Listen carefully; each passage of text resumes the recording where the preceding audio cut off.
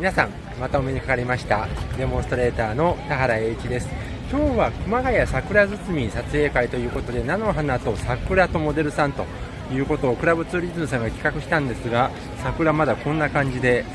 ほとんど咲いてないんですね、まあ、でもこれから、まあ、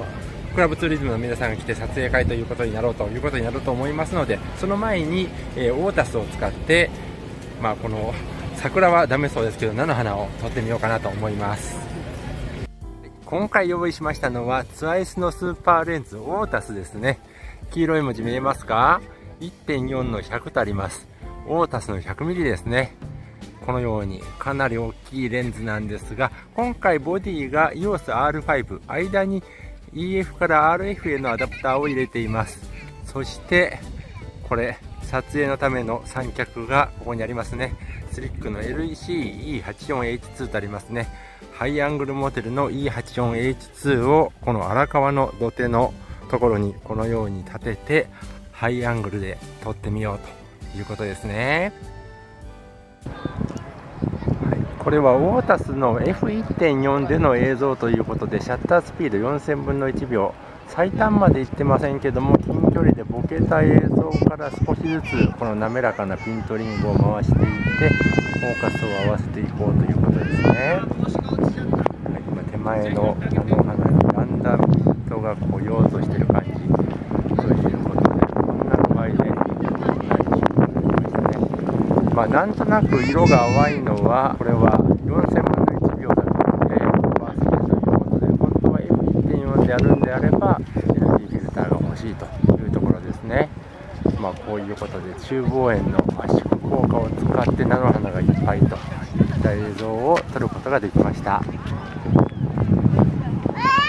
高い三脚であるライトカーボン E84H2 もローポジションにするとここまで低い位置でセットができますね。もちろんエレベーターこのように外す必要があるわけですが今土手側の上の方の足が2本下の足が私の手前の方に伸びていて1本。ここまで伸ばすことでここのレベルですねあらちょっと今、水準器ずれちゃってますけども、水準器を合わせるために足をもうちょっと短くしましょうか。こういうことで、足の長さでね、レベリングを調整して、ここで水平になってると、あ、また逆に行き過ぎた。水平になってると、ここの雲台を回すときに水平のまま回転ができるということですね。立った高さだと結構このガードレールが目立つんですが、こうやってしゃがんでいくとガードレールが隠れるということで、この角度で、ほら、こうして見えるかなあ、まだボケ像だからよく見えないですけども、青空バックで菜の花を撮っていこうということですね。まあ今、ハンドルの位置をですね、レンズ側にやることで、これ角度が上の方に向くようにという風にセッティングしています。こうした工夫をすることで、青空バックで菜の花を狙っていくということができるわけですね。ちなみにこのオータスの 100mm の最短撮影距離は1メーターということで、1メーターぐらいのところにピントが合う菜の花を用意しておくと、だんだんこれでピントが合うという表現ができるはずです。アウトフォーカスからだんだんピントが合ってくるということで表現をしていこうと思います。はい。今、青空バックの菜の花で、今 F1.4 で4000分の1秒ピント位置は無限の状態ですここからだんだんだんだんつまり前ボケになってるわけですねだんだんだんだんピントが合ってくるということでピント位置が奥の方にやるもんですから前ボケの菜の花の方にだんだんピントが来るようになるはずですこの辺りで菜の花前ボケ位置奥の方の菜の花にピントが来てますね。ここからまた手前の方にピントがやってきて非常に不思議な雰囲気の映像になってるかと思います。被写界深度が非常に浅いですからね。二重像みたいに見えますけどもそれぞれこれは別の菜の花ということになりますね。ここが最短撮影距離ということで青空バックで菜の花の表現という映像を撮ることができました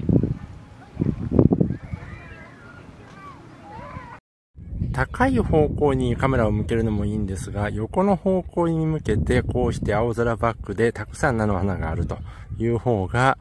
やはり菜の花の厚みが違うと言いますかね、こっちだとガードレールまでしか菜の花がありませんので、こっちの方向で再び狙ってみようと思います。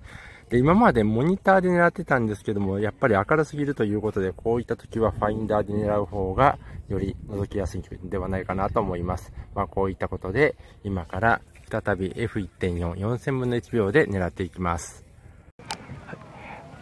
再びオータス 100mm の F1.4 の映像です。F1.4 ですからやっぱり社会振動非常に浅いんですが手前の菜の花にピントが来てることは分かりますね。ここからだんだんだんだん奥にピント送りをしていきますとそれぞれいろんな菜の花にピントがあってくるといった映像になりますよ。これで今何メーターぐらいだろう。まだ1.3メーターぐらい。まあこのねフォーカスリングの滑らかさという意味ではオーダス本当に素晴らしいレンズでここで1.7メーター。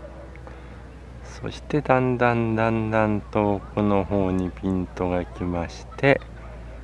この辺りで何メーターかな？この辺りでピント位置的には3.5メーターあたりということです。こうして前ボケであとは遠くの方の菜の花にピントが来るといった映像に変わってきます。ボケがねやっぱりすごく綺麗というレンズです。これが無限の状態の映像ということでまあ非常に浅い社会振動を生かしつつ圧縮効果を生かしつつ菜の花を表現するということにかけて非常に面白いレンズということですね今日はクラブツーリズムの撮影会が始まる前のひとときに、このオータス 100mmF1.4 を、まあ、普段ポートレートで触る機会が多かったもんですから、今回は反応撮影ということで触ってみました。まあ、非常にね、この滑らかなピントリングの回転というところが楽しめるレンズです。まあ、ぜひね、ツアイスウィークの機会に触って体験いただければなと思います。まあ、次回のツアイスウィーク7月を予定してますので、ぜひチェックいただければと思います。このように田原栄一のこのチャンネルではツアイスウィークの時の情報なんというのもご紹介してまいりますので、ぜひ高評価、チャンネル登録をよろしくお願いいたします。回のクラブツーリズムの撮影会は、まあ、夕方6時までということで、結構夕日の光になってきました。まあちょっと向こうの方でやってるので、ちょっと撮っていきたいと思います。今回は R5 にマウントアダプターをつけて、ZM の 50mm の F1.5 ということですね。